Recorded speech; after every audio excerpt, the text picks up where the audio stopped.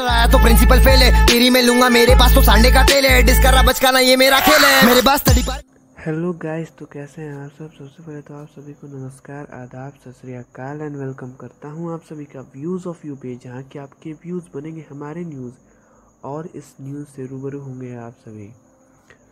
सो so guys आज है 2 नवंबर 2021 और 2 नवंबर 2021 तक के जितने भी करेंट इकोनॉमिक अफेयर्स और बिज़नेस अफेयर्स होंगे उनके बारे में हम लोग इस वीडियो में डिस्कस करेंगे। So guys let's move it on guys तीन नवंबर दो हज़ार इक्कीस का जो सबसे बड़ा अपडेट निकल के आता है रिगार्डिंग करेंट इकोनॉमिक अफेयर्स वो ये है कि आरबीआई ने प्रॉम्प्ट करेक्टिव एक्शंस के रिगार्डिंग जो फ्रेमवर्क है उसमें मोडिफिकेशन लाया है। अब ये आ, ये प्रॉम्प्ट करेक्टिव एक्शन जो है, ये फ्रेमवर्क जो है, ये क्या होता है? देखो प्रॉम्प्ट करेक्टिव एक्शन जो होता है, ये उन बैंक्स के लिए होता है जो बैंक लॉस में चल रहे हैं, ठीक है? उनके एसेट्स को लिक्विडेट होने से बचाने के लिए ये डिसीज़न या फिर ये फ्रेमवर्क में उनको डाल दिया जाता है या फिर ये जो फ्रेमवर्क है उन पर लागू होता है, ठीक है? एंड आफ्टर दैट उनको मर्ज किया जाता है या फिर उनको कम्प्लीटली क्लोज कर दिया जाता है। फ़िलहाल में एक बैंक है, उसका नाम मुझे नहीं पता है आज याद नहीं आ रहा है। लेकिन उसको भी क्या कर दिया गया, फ़िलहाल में ही परमानेंटली क्लोज कर दिया गया है। एंड फ़िलहाल में एक बहुत बड़ा अपडेट भी निकल के आ रहा है सोर्सेज के हिसाब से कि एक देना बैंक था इंडियन ओवरसीज़ बैंक था। ये सारे बैंक जो हैं, कुल मिला के साथ पी एस यू बैंक जो हैं, ये क्या होने वाले हैं? इन्वोक होने वाले हैं पी सी में, यानी कि इन पर भी पी सी ए लागू होने वाला है। सो ये पहला करेंट इकोनॉमिक अफेयर्स था। दो नवंबर 2021 के रिगार्डिंग में।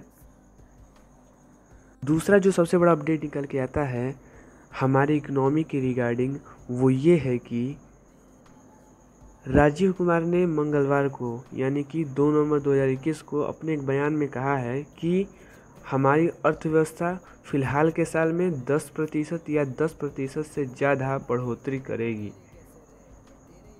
तो ये इनका अनुमान है एक्सपेक्टेशन है। बट क्या ये एक्सपेक्टेशन और सारे इंस्टीट्यूशंस का है? तो ऐसा कुछ नहीं है। आरबीआई ने और आईएमएफ ने एक्सपेक्टेशन लगाया है टेन परसेंट का नहीं, बल्कि नाइन पॉइंट फाइव परसेंट का। और इनका है कि टेन परसेंट या टेन परसेंट से ज़्यादा भी हो सकता है ग्रोथ इकोनॉमी का। सो कैसे इनके चौचले हैं। एंड देखते हैं किसका बात सही होता है आईएमएफ का आरबीआई का या फिर इनका। यानी कि राजीव कुमार जो कि वाइस चेयरमैन हैं, किसके? नीति आयोग के, प्लानिंग कमीशन के। सो गैस ये दूसरा बड़ा अपडेट निकल के आता है हमारी इकोनॉमी के रिगार्डिंग अब बात करते हैं हम लोग बिज़नेस अफेयर्स के बारे में।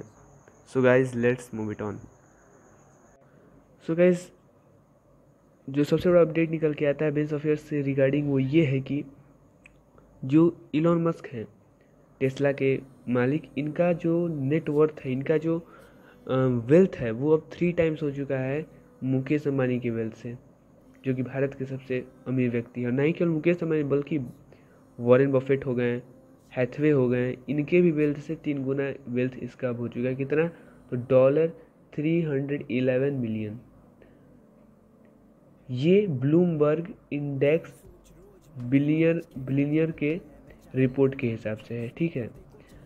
तो ये केवल एक इंपॉर्टेंट टॉपिक निकल के आता है बेस अफेयर्स का ऑफ़ थर्ड नवंबर 2021 तक का। इस तब तक के लिए आप सभी को व्यूज़ ऑफ़ यू की तरफ़ से बहुत सारा प्यार एंड धन्यवाद।